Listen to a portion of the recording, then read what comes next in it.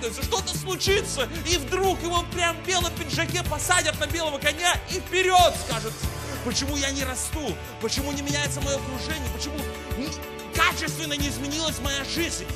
Не обстоятельства определяют твою жизнь, не ситуации определяют твою жизнь, а твои решения. То, что мы оказались сегодня утром, воскресеньем, на этом месте, это подтверждает тот факт, что есть в Алмате люди, которые чего-то ищут. Большинство людей в воскресенье утром ничего не ищут. Им ничего не надо, они ничего не хотят, они хотят выспаться. На самом деле, это пропадающее время в жизни человека. Воскресное утро, когда человеку ничего не ищет, ему ничего не надо, он просто спит. Он просыпается часов в 11, и то, то ли с бодуна, то ли еще с чего-то, с трудовой недели. Он очухивается к обеду, и он пропускает самое важное в жизни. Заряд бодрости, который можно получить здесь в воскресенье утром. Скажем ли на это аминь? Я верю, что там, где собираются дети Божьи, там, где есть живое Слово Божье, там, где есть люди, которые верят в Божью силу, там есть заряд Божьей силы. Не просто бодрости, а заряд Духа Божьего, который, пам, может наполнить нашу жизнь. Скажи на это аминь. Я, почему ты утром идешь в воскресенье сюда? Тебе что, делать нечего? Тебе спать не хочется? Хочется! Но я вот после обеда высплюсь, аллилуйя. Хочется спать, но я прихожу, потому что в Доме Божьем есть люди Божьи. Иисус сказал, где двое, трое, четверо, восемь собираются во имя Мое, там и я буду посреди них. Аллилуйя. Я просто прихожу поесть от Иисуса. Иисус сказал, я есть хлеб, сшедший с небес. Питайтесь. Он говорит, кто не вкусит от плоти, от крови моей, не имеет части во мне. Мы приходим, Господь, дай нам слово. Он говорит, я есть слово. Не просто хлеб.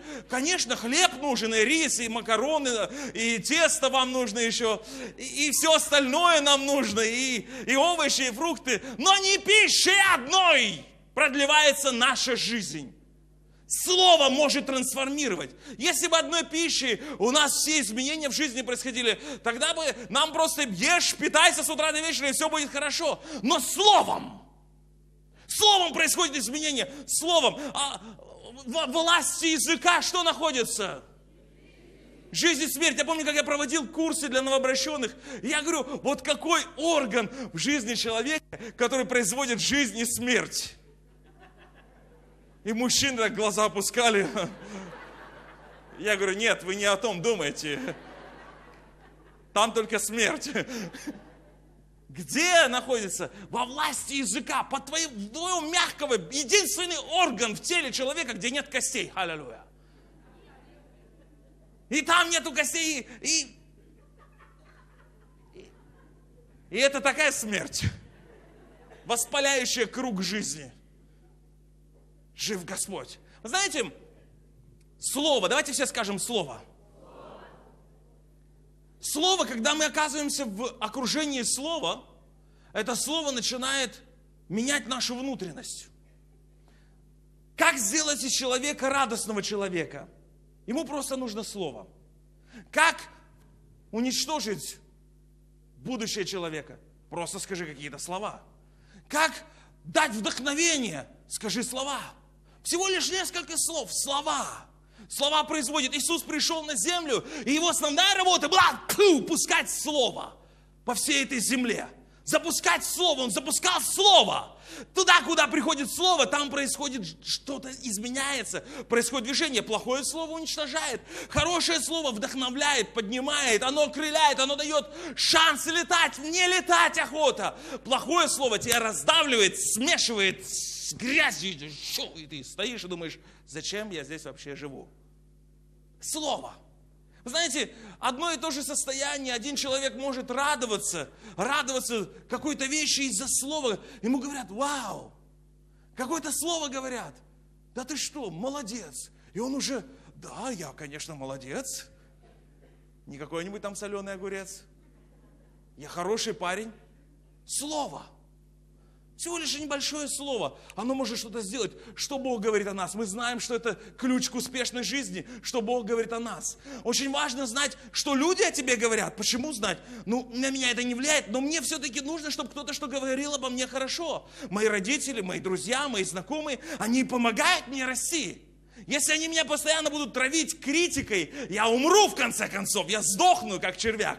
Людям нужно, чтобы кто-то их ободрял. Вам нужно или нет? Или вы все или вам все равно, да, все равно, будь что хочет, но все равно прислуга. А что же, а ты знаешь, что он про тебя сказал?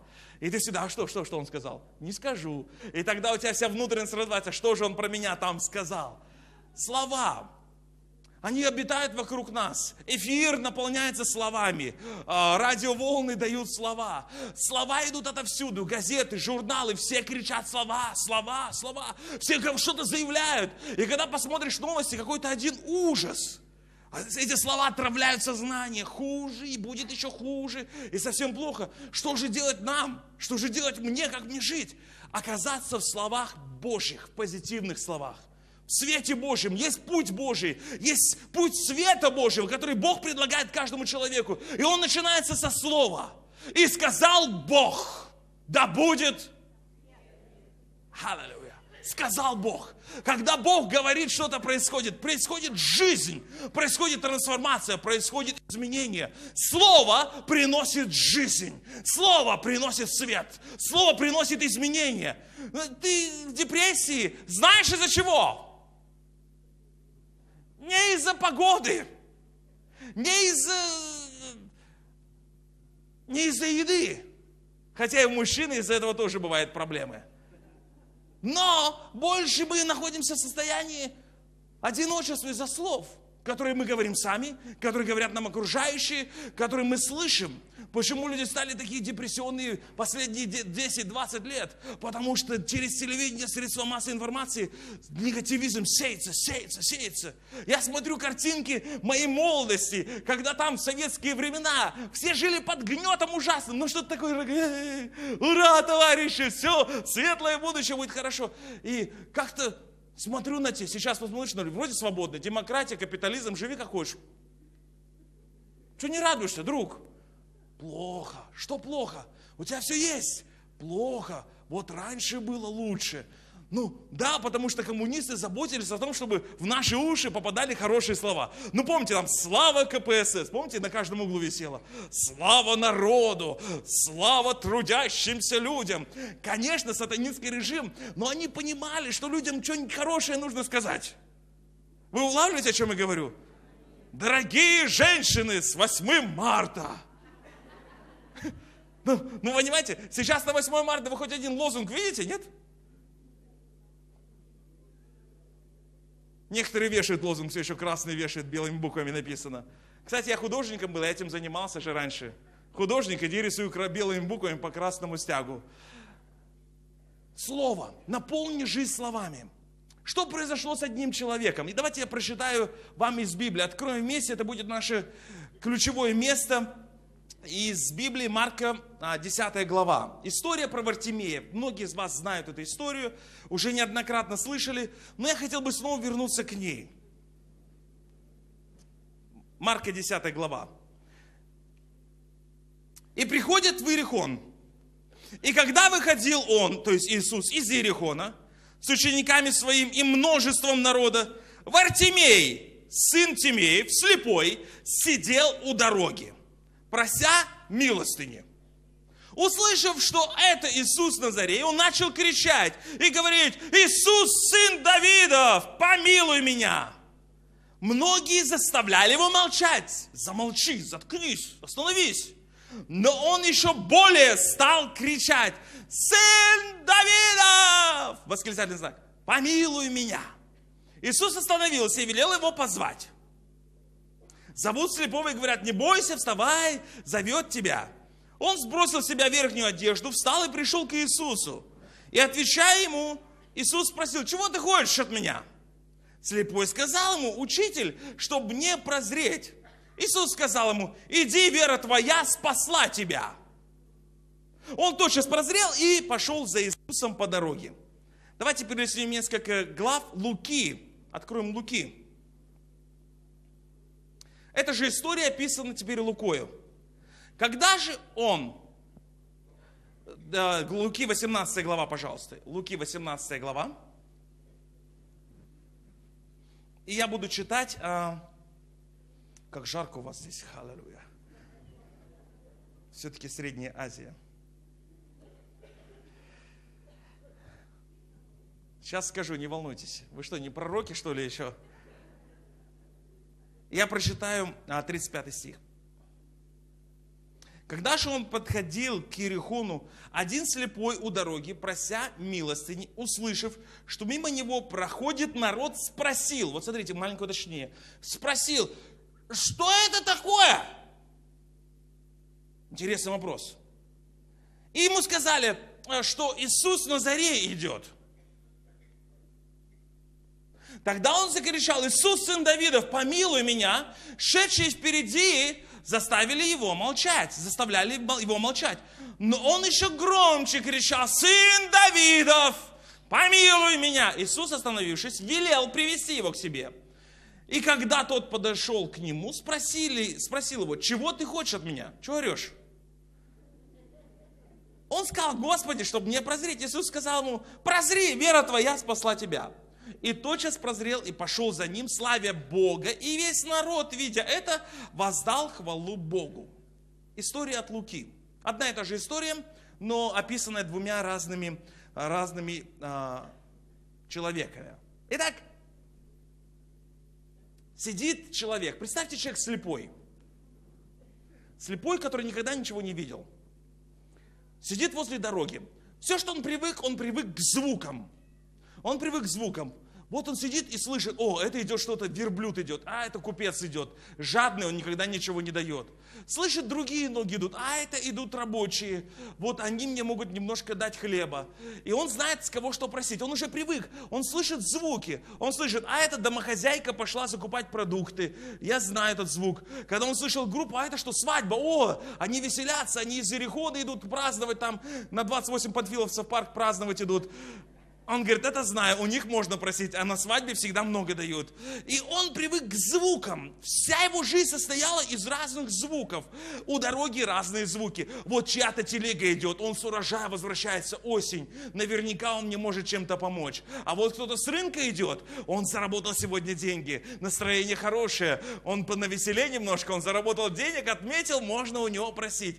И он по звукам ног определял. Но однажды, Вдруг что-то изменилось. Вдруг он услышал множество, множество ног, топот. И он услышал толпу кричащую. И он не мог понять, это люди не на базар идут и не из базара. Это не свадьба потому что на свадьбе другие звуки. Это странная группа. Он стал прислушиваться к этой группе. Что же это за группа? Он слышит, какие-то коллеги кричат, какие-то люди разговаривают. Он слышит, как два ученика проходят и рассуждают. Ты слышал, Иисус сказал, возьми крест и исследуй. И он услышал клочки разговоров. Он услышал, шум стал нарастать, потому что вокруг Иисуса всегда была масса людей. Он услышал грубый крик Петра. Отвали, не лезь, не видишь Иисуса я. И он, он думал, что это за люди, что, что это происходит? И, и посреди этого он вдруг стал чувствовать, что-то проходит мимо меня. Шум стал нарастать. Стал, он подумал, что, наверное, случилось что-то, что-то происходит. То ли революция, то ли... Да нет, не революция, вроде никто не злой, вроде все мирно идут. Куда-то идут, куда они идут? Зачем они идут? Кто это такой? Что происходит? Он стал он понимать, что что-то важное сейчас происходит. Вы знаете, он не стал кричать, это была возможность, стал бы кричать, деньги дайте слепцу Вартимею денег. Это его профессиональный крик. Он умеет кричать. Вы знаете, как я был в Таджикистане и э, в Душанбе, Душанбе, Таджикистан, да? Я был в Душанбе. И там есть такие мальчики. Вот они профессионалы. У них такие папы с такой длинной бородой такой длинный кафтан, лето жара, у него снаружи минус, плюс 45, внутри плюс 65, и вокруг него какие-то пацаны бегают, и видно, что это отец или дядя, или еще какой-то начальник. И он так раз знак дает, чик, вон, смотри, идут какие-то, иди быстро их отбирать. И они...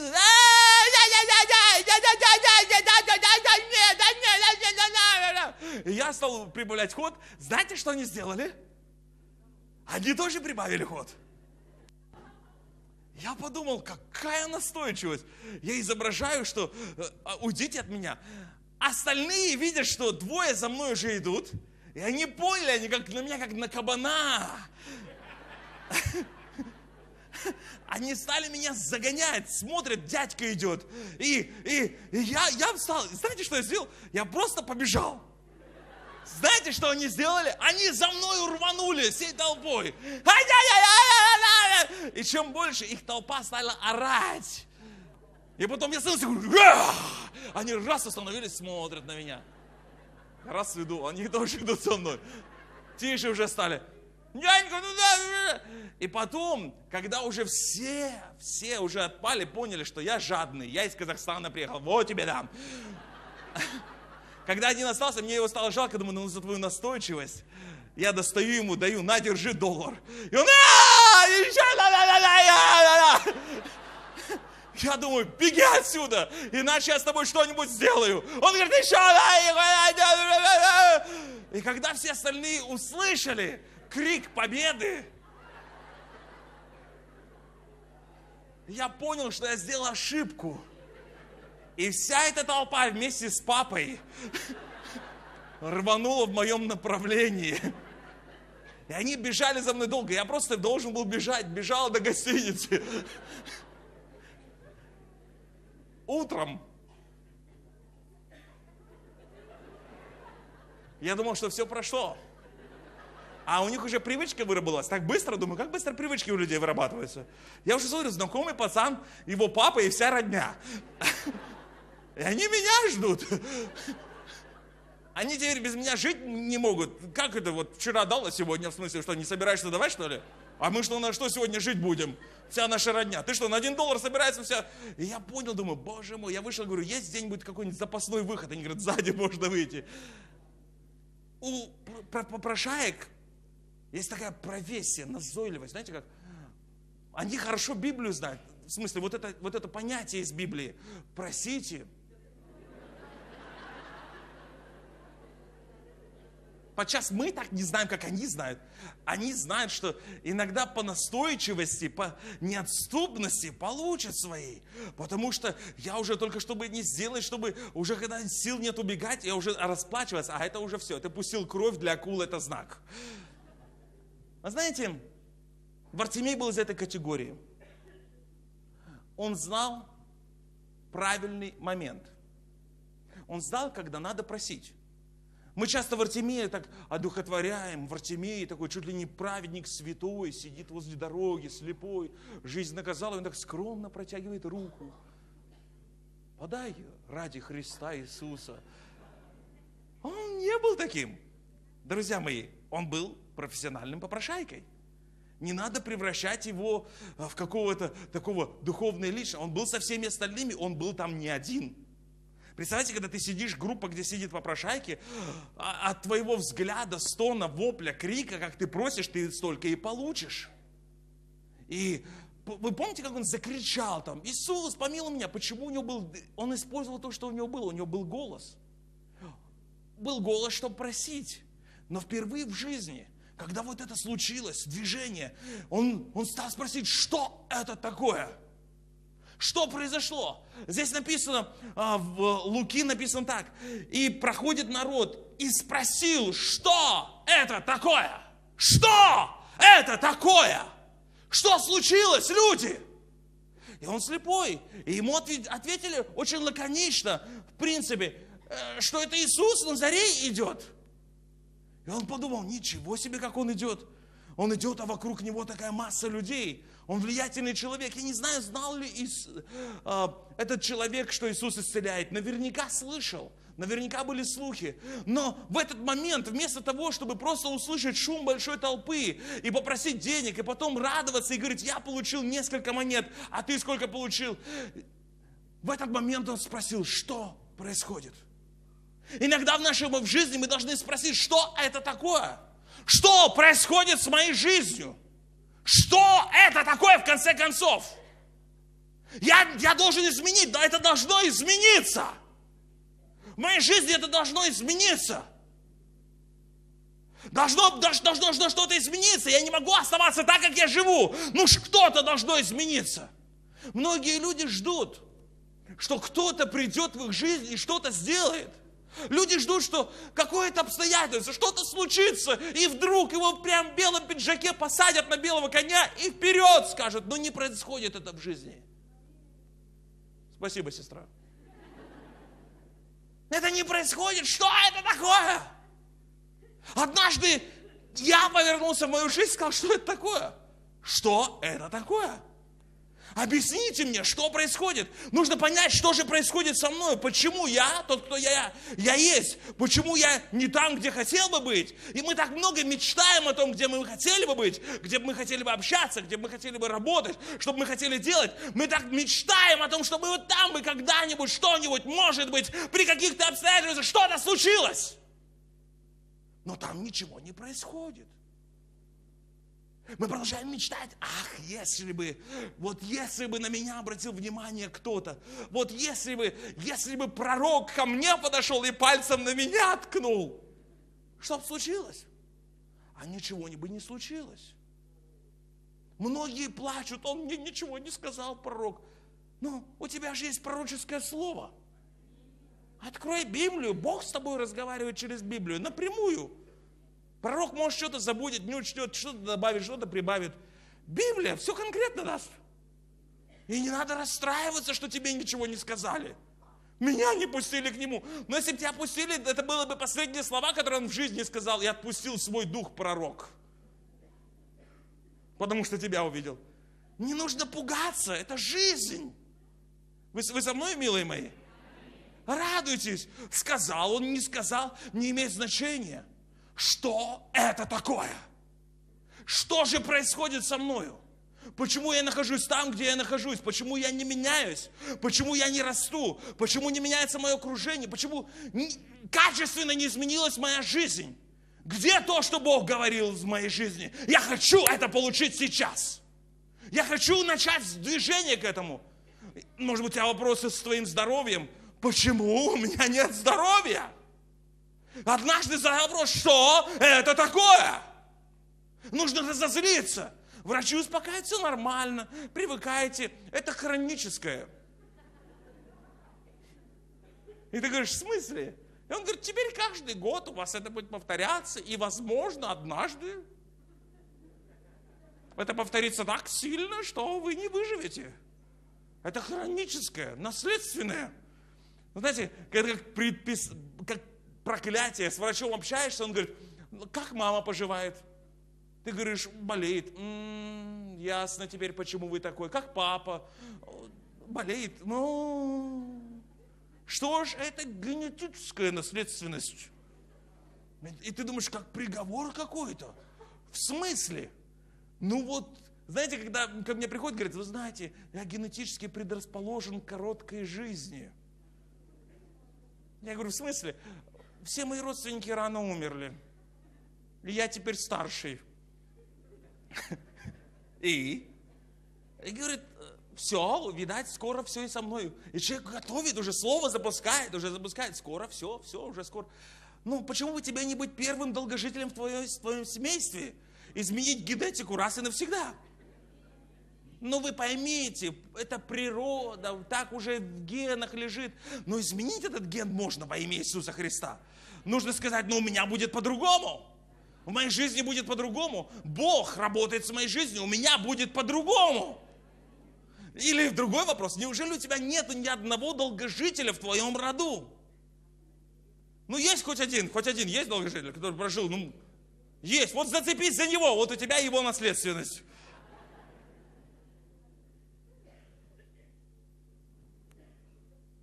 Что это такое? В Артемии был вопрос, что же происходит. Нужно бы однажды отрезвиться, очнуться, что происходит с моей жизнью. Где я нахожусь? Он вдруг ясно увидел картину. Идет Иисус, сын Давидов, Мессия, помазанник, пророк. Вокруг него много людей. И он сидит здесь, он понимает, он не видит ничего. Но он представляет себе картину. Проходит мимо возможность.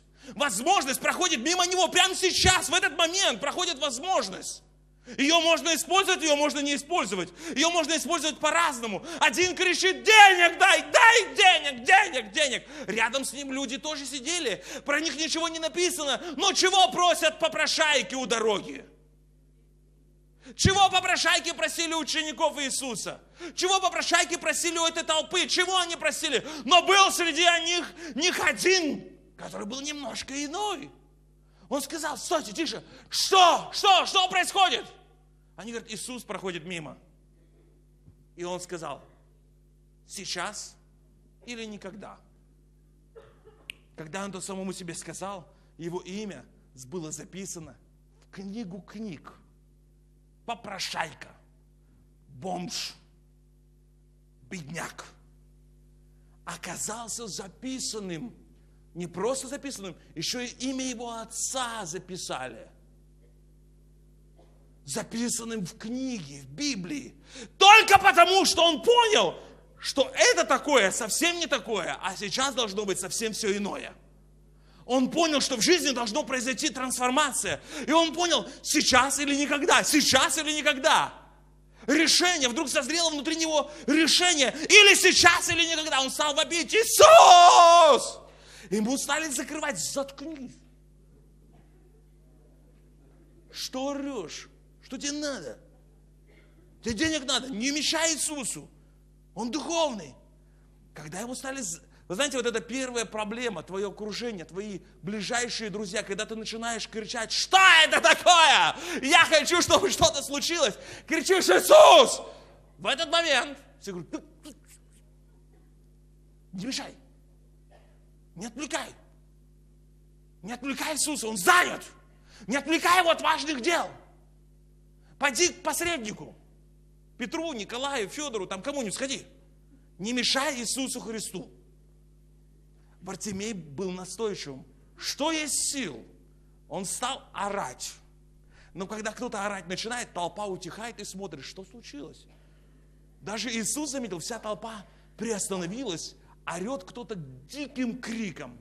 Иисус! Сын Давидов! Он орал. Не просто Иисус, я инвалид. Детство, помилуй меня. Он был настойчивый. Если бы он так говорил, никто бы его не услышал. Ему говорят, ну что, просил, получил? Не получил. Сиди снова. Это твоя профессия, это твой Бог так предопределил твою судьбу. Даже рабочее место тебе назначил возле дороги. Радуйся, что не прокаженный. Тем не дают место, а тебе дали место.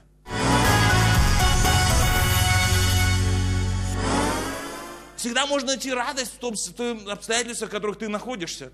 Ну да, у меня ничего нет, я бедняк. Но в конечном итоге я жив. Я жив, и это хорошо такое лжесмирение. Все нормально, жизнь прекрасна. Я сижу, наверное, солнце светит, я не чувствую, я не вижу. Люди идут мимо меня. Вот проходит какой-то пророк, все отлично. Сын Давидов прошел. Дали денег, замечательно, хорошие христиане. Будьте благословенны. Аминь. Пригласите меня на вашу евангелизацию. Настойчивость. Внутри этого человека было что-то что-то что не, необычное. Внутри него было решение. Давайте все скажем слово решение. Знаете, решение оттачивает твою судьбу. Если кто-то запишет, сейчас запишите, пожалуйста. Решение оттачивает твою судьбу. Решение поднимает тебя. Решение меняет тебя. Жизнь состоит из решений. Правильных, неправильных, но решений. Есть решения, которые делают человека, ставят его высоко. Есть решения, которые опускают человека. Решение, есть много желаний, пожеланий. Вот было бы, да как бы, знаете, вот если бы, вот если бы однажды в моей жизни что-то произошло, и кто-нибудь пришел, знаете, такое пожелание, вот если бы то-то случилось и там-то, и я родился не там, а вот родился там, а если бы у меня родители были такие, а учителя не такие, вот, вот эта вся сумятица. Есть решение – не обстоятельства определяют твою жизнь. Не ситуация определяет твою жизнь, а твои решения. Твои решения определяют твою жизнь. Хочешь быть радостным, прими решение. Хочешь быть счастливым, прими решение. Слушайте, хочешь быть богатым, прими решение. Ну, я не могу, я принял решение, ничего не случилось. Три раза уже принимал. Ты желал, чтобы ты был богатым, ты не принял решение. Решение это что-то большее. Многие из нас желают, чтобы что-то изменилось. Изменилось с питанием, изменилось с лишним весом, изменилось в отношениях с семьей, с детьми. Многие желают, что было бы хорошо, если бы я с больше с детьми время проводил, но я занят. Решение, они меняют твою жизнь. Решение делают тебя сильным, или они тебя, или не используя решение, ты становишься слабым. Многие желают, вот если бы что-то случилось. Решение – это сила, это генератор, который может изменить твою жизнь. Послушайте внимательно. Я знаю, что здесь есть люди, которые слышат меня сейчас. Решение может изменить все.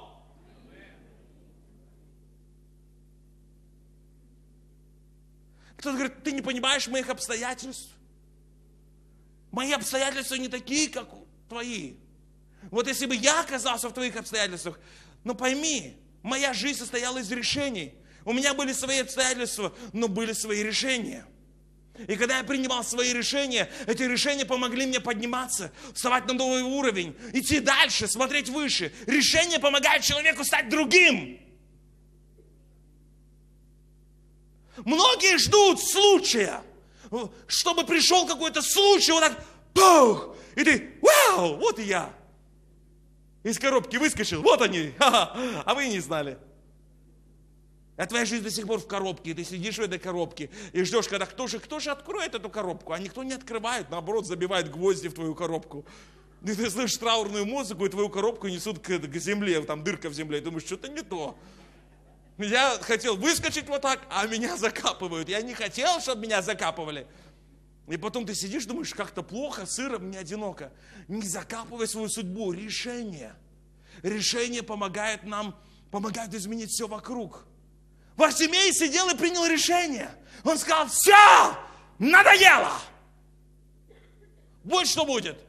Когда Иисус позвал его, говорит, иди сюда. Вартимей скидывает свою одежду. Ну, вы все знаете, что одежда это символ а, его бедности. У него была специальная одежда по прошайке.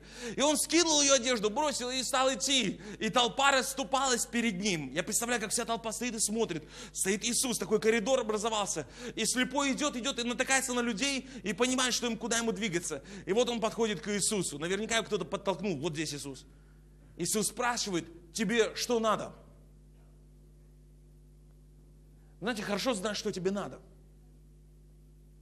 Хорошо знать, а мне что надо. Многие люди молятся, и они не знают, что им надо. Ну, Господи, миру мир.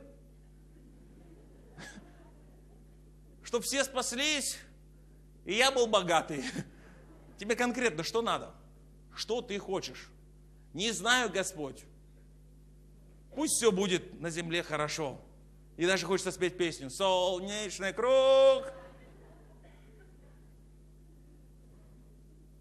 Что тебе надо?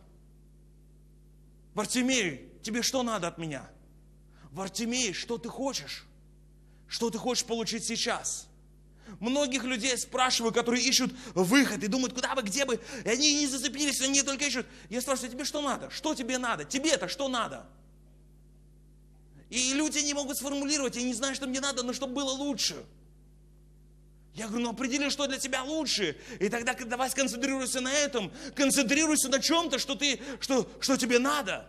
Вот тебе нужно было, он знал, мне нужно, чтобы прозреть. Он не просил повышения пенсии, он не просил э, лучшего места, там, где больше народу проходит. Он не просил финансового благословения, он просил зрения. Мне надо, видишь, что прозреть. Так просто. Иисус говорит, окей, зри. Иисус повернулся и пошел. Что сделал Вартимей?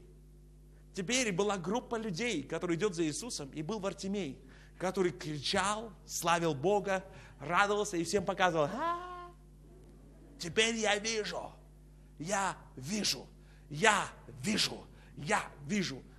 На одного радостного человека на земле стало больше. Семь вещей, которые помогли Бартимею вырваться из его оков, из его коробки. Семь вещей, которые помогли ему стать другим, которые помогли ему измениться. Записываем семь вещей. Если у вас, дорогие зрители, есть ручка, возьмите, пожалуйста. Я хотел бы, чтобы вы их записали. Семь вещей. Первое. Вартимей не соглашался с его обстоятельствами. Он сказал, я лучше, чем та ситуация, в которой нахожусь сейчас. Я достоин лучшего. Я достоин лучшего. Над многими людьми есть такое ложное чувство удовлетворения, что я вот уже все, что мог, достиг, теперь я вот такой, до пенсии останусь таким, какой есть. Вартимей говорил, я достоин лучшего. У него четкое было понимание, что это не навсегда. Он не соглашался со своей коробкой, это не навсегда. Второе. Вартимей знал, как принять правильное решение из многих выборов. Было много вариантов. Он мог попросить пожертвования, он мог э, сделать то или другое, третье. Он знал, что ему нужно. Он знал, как это, как это добиться. Третье. Он верил и знал, что та ситуация, в которой он находится, это временная ситуация. Опять это из категории не согласен с сегодняшней обстановкой. Временная ситуация. Давайте все скажем, временная ситуация.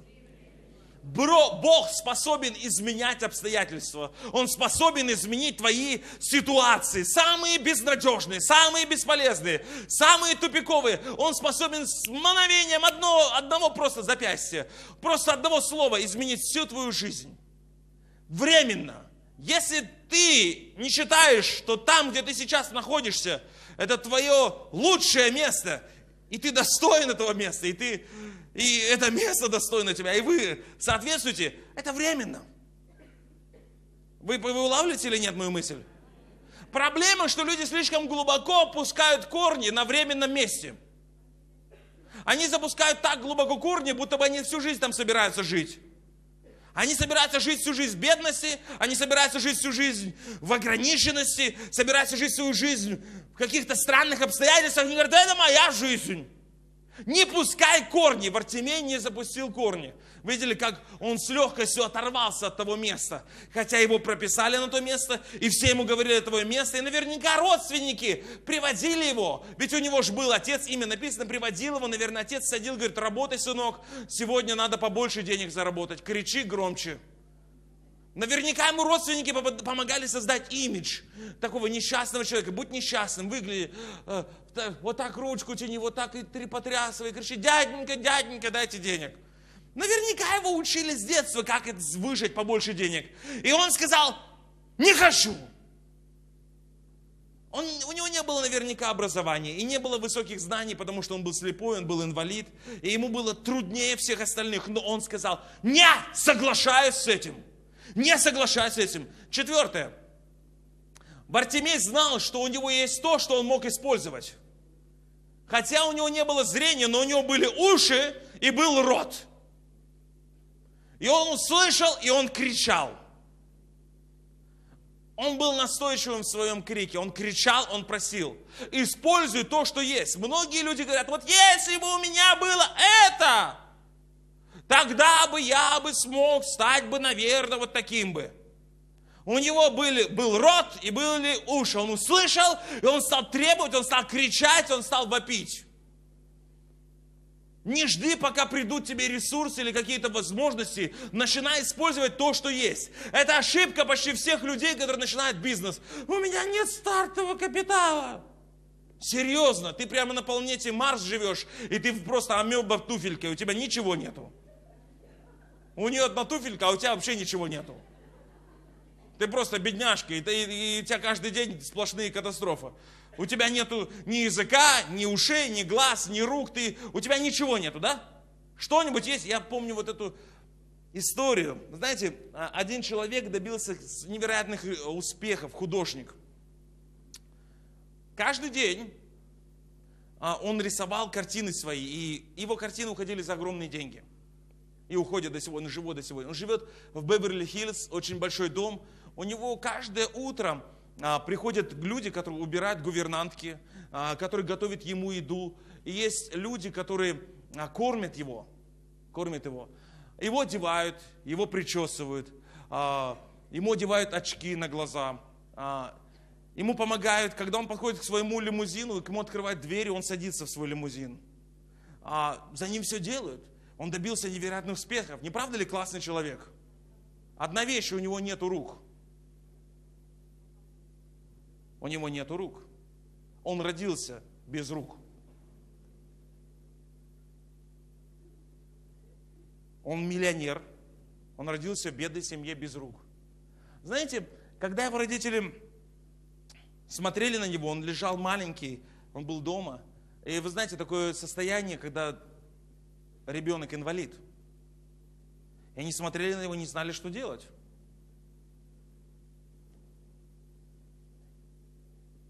Ребенок подрастал, и ему сильно хотелось сладкого. И однажды родители увидели интересную картину, как вот этот ребенок катится, заползает на стол и берет зубочистку, намачивает слюной и окунает в сахар. Достает и облизывает ее. Они смотрели на него, что он делает. Ему просто хочется сладкого. И знаете, что он делает? Он использует, что он может. Многие бы из нас ныли бы и кричали, как мне плохо, как мне плохо, я сладкого хочу. А он упорный, залазит на стол, облизывает зубочистку, обмакивает в сахар, кладет ее на стол и облизывает ее, и снова кладет. И они сказали, у этого ребенка есть, у этого ребенка есть что-то. Он хочет добиться чего-то. У него есть решение использовать то, что у него есть. Когда он получал образование, он не мог не писать ничего. Но однажды он пришел на урок рисования. И все дети что-то делали, рисовали, и он не мог рисовать. И тогда он взял карандаш в зубы, и он стал по бумаге водить. И потом учителя посмотрели, сказали, как неплохо. Неплохо. И он стал стараться. Стал стараться. Ему сделали специальное приспособление держать эту кисточки, краски. И он стал рисовать картины. Он человек. Он добился признания, успеха. Многие люди имеют все, но у них нет решения. Они не используют то, что имеют. Они плачут. У меня нету этого, и этого нету, и этого нету. Используй то, что есть в твоей жизни. Запишите. Вартимей использовал то, что имел. Пятое. Он хорошо знал, что его будущее будет лучше, чем прошлое. Будущее лучше, чем прошлое.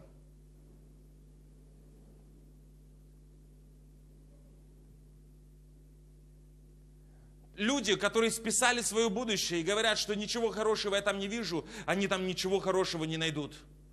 О церкви, притча 31 глава, Соломон говорит, что она с радостью, эта добрая жена, смотрит в будущее. С радостью смотрит в будущее. Давайте вместе скажем, с радостью смотрит в будущее. Это хорошее состояние с радостью, с ожиданием. Вау, классно. Все будет хорошо. С радостью смотри в будущее своих детей. С радостью смотри в будущее своей семьи. С радостью смотри в будущее своей компании. С радостью смотри в будущее. Шестое. Он видел невидимое. Он знал, что с Богом достаточно иметь переживания только один раз. Люди просили его остановиться. Но он знал, что сейчас не время останавливаться. Он знал, когда нужно действовать. Шестой пункт. Он знал время своего действия.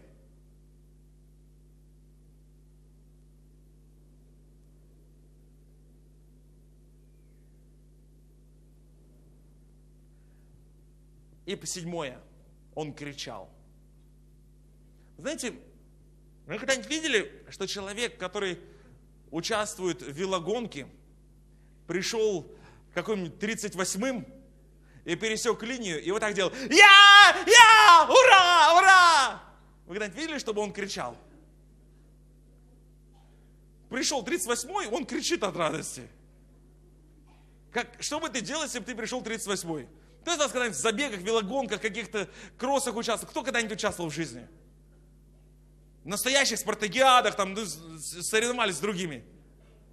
Отлично. Вы знаете, когда ты приходишь первый, Вы знаете, вот это состояние, я! Ты смотришь на этих спортсменов. Я, я никогда не мог понять и до сих пор не понимаю, чему радоваться.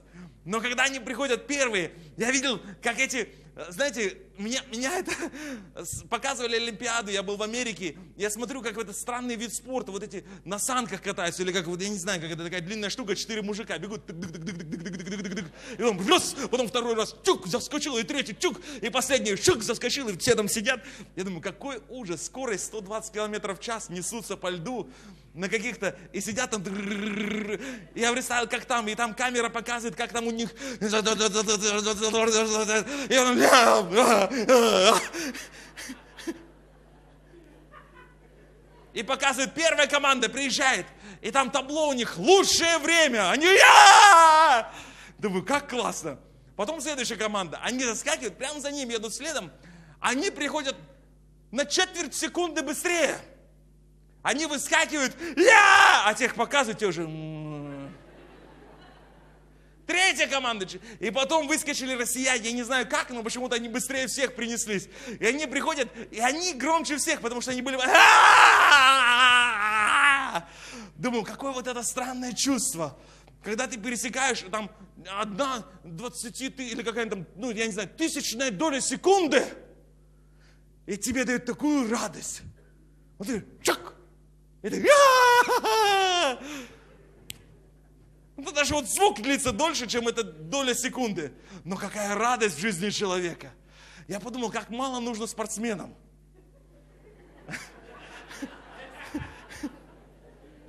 Для радости всего лишь какая-то доля секунды. И знаете, если бы никто на земном шаре не смотрел эту Олимпиаду, и никому бы не было дела до этого, и все бы сидели дома, и вот он пришел вперед всех – он бы так не радовался. Но это слава, победа. Я кричу. Вы знаете, победитель всегда кричит. Скажем на это аминь. Победитель кричит. Вартимей стал кричать. Ему говорят, молчи. Молчи. Как я буду молчать, когда я победитель? Как я буду молчать, когда Иисус рядом проходит? Победитель кричит, не разрешай своему рту остановиться. Не умолкай. Если вы замолчите, камни будут кричать. Иисус говорит, камни будут кричать, если вы их остановите. Ему говорят, пусть молчат, пусть все молчат, замолчите, замолчите, не говорите, не говорите, молчат. Я был в одном месте, там, где Иисус Нагорную проповедь читал, и там такая надпись, там, там написано, тишина, здесь Бог. И такое лицо человека.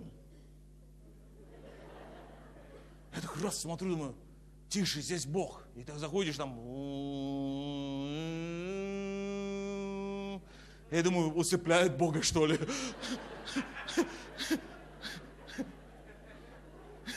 И там какая-то такая мелодичная музыка похоронная, знаешь, или помер кто, или... И, там тише, не мешайте Богу, Бог здесь думает или что-то делает. Я никак, никак не мог понять тех людей, которые говорят в присутствии Божьем молчать кричи в присутствии Божьем, зови, призывающий его имя, возрадуются, будут ликовать и кричать. Вартимей кричал, Вартимей заявлял, Вартимей был громче всех. Скажем на это аминь. Вы знаете, я хочу дать вам несколько слов. Первое, решение. Давайте все скажем решение. Решение, мы говорили, оттачивает нашу судьбу. Решение делает поворотный момент. Многие меня спрашивают, что изменилось, когда, что произошло, когда ты не поехал в Америку? Это произошло решение, что теперь я служитель Божий. Вся моя родня уезжала, я сказал, бам, хватит. Что происходит, когда человек производит решение? Меняется вся жизнь. Но после решения должны начаться действия. Запишите, действия. Скажем вместе, действия. Многие люди ждут, когда начать действие. Ожидание лучшего времени не является действием.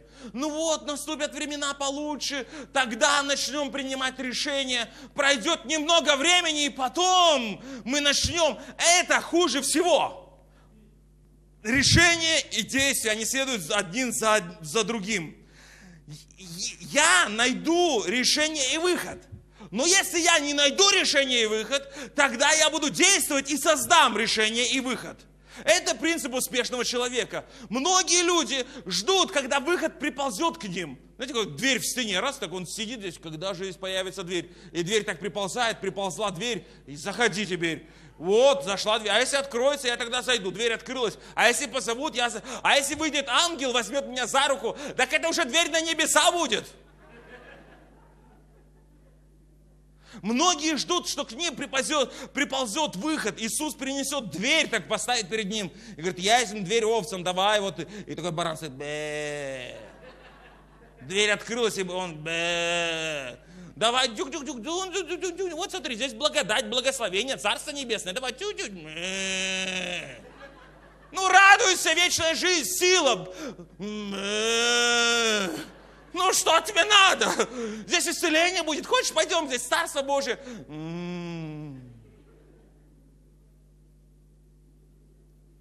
Как баран на новые. Многие так к решению относятся.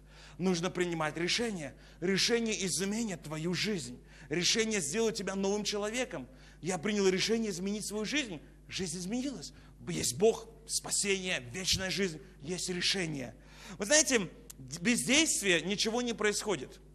Решение всегда поддерживается действием. Слово Божье живо и действенно, и острее до острого меча. Потому что Бог производит в вас хотение и действие по своему благоволению. А во Христе Иисусе не имеет, не имеет силы ни обрезания, ни необрезания, но вера действующая любовью. Вера действующая. Давайте скажем, вера действующая. Иаков пишет, а, как тело без духа мертво, так и вера без дел мертва. А, с великой радостью, братья мои, как э, принимаете, когда впадаете в различные испытания и искушения, зная, что испытание вашей веры производит терпение. А дальше, терпение должно иметь совершенное, давайте скажем, совершенное действие. Мне так нравится комбинация этих слов. Совершенное действие. Халалуя.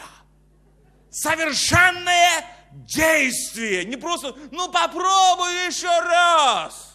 Нет, не надо пробовать. Совершенное действие. Давайте скажем вместе. Не просто пожелание, ну, может, что получится, Господи, благослови вперед. Я иду и действую. Терпение должно... Вы знаете, вера производит терпение. Почему? Вера, она начинает действовать. А терпение – это постоянство. И ты делаешь, делаешь, ты устал. И ты продолжаешь, делай, делай, не могу, не могу, делай, делай, делай, делай. Я устал, э, терпение, уже веру забыл, давай. И теперь должно быть совершенно, давай, давай, давай, давай еще. Совершенно действие, давай, давай. Вера, терпение, действие. Не просто действие, совершенное действие. Чтобы вы были совершены совершенны, совершены во всей полноте, без всякого недостатка, без какого-либо, чтобы у вас все было красно, красиво. Решение, действие. Вера – это решение. Терпение – это действие. Только что вы посмотрели проповедь, которая наверняка повлияла на вас. И я молюсь, чтобы это слово, которое было посеяно сегодня, оно пришло в вашу жизнь и принесло плод, было растворено верою в вашем сердце и принесло урожай для вас, вашей семьи, вашей церкви, для вашей жизни – Пусть Бог благословит вас. Надеюсь, каждая проповедь, которую вы слушаете в эфире, мои проповеди или других проповедников приносит для вас благословение. Но вы знаете, много людей готовят эту проповедь. Операторы, режиссеры, редакторы, съемщики, люди, которые занимаются тем, чтобы подготовить ее к эфиру и запустить в эфир. Огромная команда людей трудится. И я хочу попросить вас, поддержите нас делать Божье дело дальше. Вам нравится эфир телеканала СНЛ? Вам нравятся проповеди? Вам нравятся программы? Сделайте все возможное, чтобы мы не остановились. Поддержите нас. Вы заправьте нашу машину бензином, чтобы мы могли уехать далеко. Машина с пустым баком далеко не уедет. Телеканал без партнеров, без ресурсов не сможет далеко уехать. У нас нет рекламы. У нас нет заграничных американских хозяев. У нас нет мегакорпораций, которые бы были дочерние предприятия. У нас есть только вы и Господь. Вместе мы можем много сделать. С вашим участием, с вашим партнерством я могу сделать многое для проповеди Евангелия. Доверяете ли вы мне? Тогда большая просьба, поддержите, поддержите меня, поддержите служение христианского эфира, чтобы проповедь не останавливалась. Я сделаю все, что в моих силах, чтобы каждая ваша копейка, посеянная, пожертвованная телеканал Синол, в это служение, она принесла большой эффект, и многие люди узнали про Иисуса Христа. Пусть Бог благословит вас, благословит ваши посевы, благословит вашу веру, благословит вашу жизнь и благословит вас быть щедрым на всякое доброе дело. Жертвовать в телеканал СНЛ – это доброе дело. Поддержите нас. Спасибо вам большое. Ваш партнер, ваш друг Максим Максимов. Вы только что посмотрели проповедь Максима Максимова, который является пастором церкви «Новая жизнь» города Алматы, епископом церквей «Новая жизнь» и основателем CNL. Мы благодарим вас за партнерство. Ваше участие в поддержке CNL помогает созданию таких программ. Пусть Бог благословит вас.